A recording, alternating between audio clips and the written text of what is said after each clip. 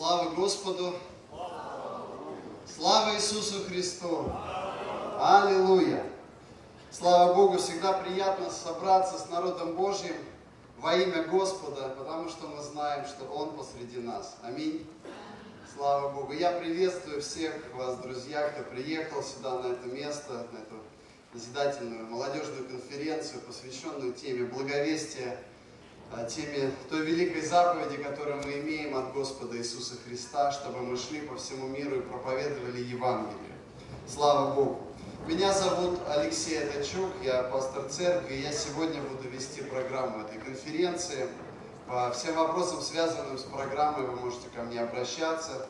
А, если у вас есть а, сольное пение, и вы хотели бы послужить сегодня здесь, на этой конференции, вы тоже можете ко мне обращаться с этим вопросом. Конечно, у нас программа уже очень так утрамбована, укомплектована, но мы очень желаем, чтобы гости все получили возможность послужить, поэтому мы будем всячески стараться, чтобы дать вам такую возможность.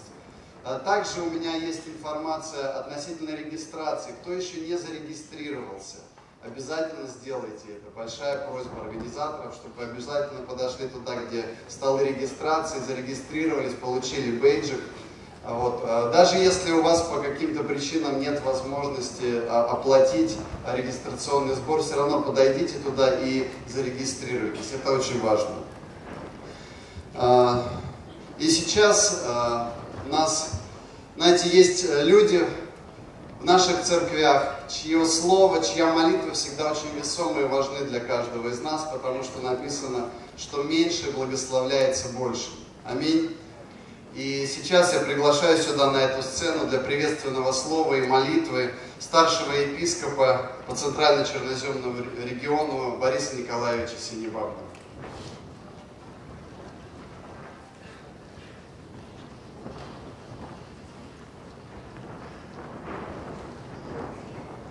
Слава Богу! Самое главное, самое дорогое, что есть на этой конференции – это то, что наш Господь с нами. Слава Богу. Это самое великое. И вот это общение со Христом или общение во Христе Иисусе, оно нас соединяет и является самым главным благословением. И я верю, что каждый, кто э, при, прибыл на эту конференцию или еще приедет, э, они, каждый из вас приехал, э, чтобы иметь Божье Слово все Божьи благословения, все абсолютно дарования Божьи, они заключены в Слове, в Слове Бога.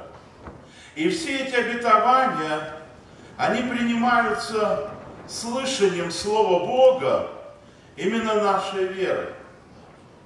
Бог хочет достигнуть каждого человека в послушании, в послушании Слову Божьему. И наше благословение во все дни нашей жизни, это зависит от слова нашего Бога.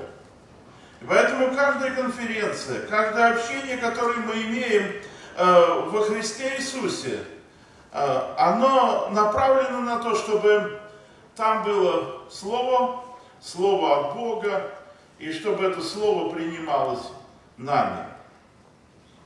Слава Богу, что у нас есть это время, время благоприятное для слышания Слова Божьего. Я хотел бы напомнить э, одно место Писания и немножко сказать о нем. Это пророк Иеремия, 29 глава, 10 и последующие стихи.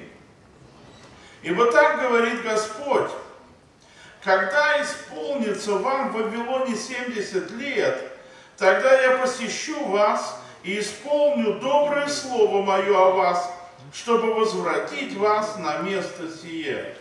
Ибо только я знаю намерения, какие имею о вас, говорит Господь. Намерение во благо, а не во зло, чтобы дать вам будущность и надежду. И воззовете ко мне, и пойдете помолитесь мне, и я услышу вас. И взыщите меня, и найдете, если взыщите меня всем сердцем вашим. и я буду найден вами. Слава Богу. Вы знаете, к какому народу Бог обратил это слово? Бог говорит, за ваш грех я вас выселил из Иерусалима. И это люди, которые находятся в Вавилоне, в плену. И Бог обращает к ним эти слова. Бог говорит, вы своей будущности не знаете. Я знаю вашу будущность. Вы верите, молодежь? Братья и сестры, верите, что Бог знает наш завтрашний день и знает, что будет через 70 лет? Мы даже не представляем, что может быть. Но Бог говорит, я знаю мое намерение о вас. И это намерение во благо. Это намерение в благословение. И очень много сегодня зависит от того, как мы примем это слово. Дальше в этом текст, тексте говорится, что э, есть пророки, которые говорят, через два года придет свобода. Но Бог говорит через 70. И люди должны быть готовы. Знаете, что за 70 лет что может произойти? Нас, может быть, и не будет на этой земле. И многие, кто слышали, они так понимали, 70 лет. Представьте себе, ну было им там 20, 30 лет, 40. И они понимали, что только через 70 лет придет свобода, придет то благословение. Но вы знаете, как они приняли это слово? Они приняли его, потому что они заботились о будущности, о своих детях, о внуках. Они желали, чтобы вот то благословение, которое дает Бог, приняло их потомство. И они готовы были эти 70 лет находиться там в пленении, ради того, чтобы вот то слово, которое Бог сказал, оно пришло благословением для их детей, для их внуков. Это благословение говорило о том, что Бог говорит, я вас возьму и переселю в Иерусалим. Вы будете в Иерусалиме. Бог стоит за этим словом. Вы знаете, братья и сестры, я помню, мне было 16 лет, и мне э, Бог проговорил о том, что Он призывает меня к служению. А мне было абсолютно непонятно. О каком служении я мог думать?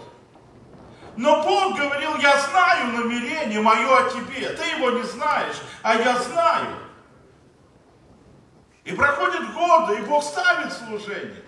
Я знаю, многие из вас призваны для того, чтобы служить Богу. И я думаю, что самый первый этап э, своего посвящения – это именно благовестие на том уровне, на котором вы находитесь. Мне так приятно было услышать, мне жена рассказывает, она гуляет с моей дочкой 5 лет, и там мальчик э, вместе с ними гуляет. И э, она обращается к этому мальчику и говорит, а ты любишь Бога? Он говорит, да, люблю. Она говорит, а в Него надо еще верить. А тот не понимает, как верить. Знаете, братья и сестры, вот детская проповедь, детское свидетельство, оно дает свое, знаете, вот это семя. И мы сегодня в том положении находимся, когда нам необходимо возвещать. Мы понимаем, что мы несовершенны в своей проповеди, в своем свидетельстве, но когда мы в ревности говорим это, вот это слово, оно является благословением для людей. От этого слова люди спасаются. Люди познают Бога. И очень хотелось бы, чтобы на этой конференции мы поверили в будущность, которую Бог определил для нас, и для которой мы готовы сегодня посвящать себя служению Богу. Да благословит всех нас Господь на этой конференции – Пусть наши уши, наше сердце будет открыто к пониманию Слова от Бога. И оно принесет плод в нашей жизни. И этот плод будет приятен нам. Давайте встанем для молитвы.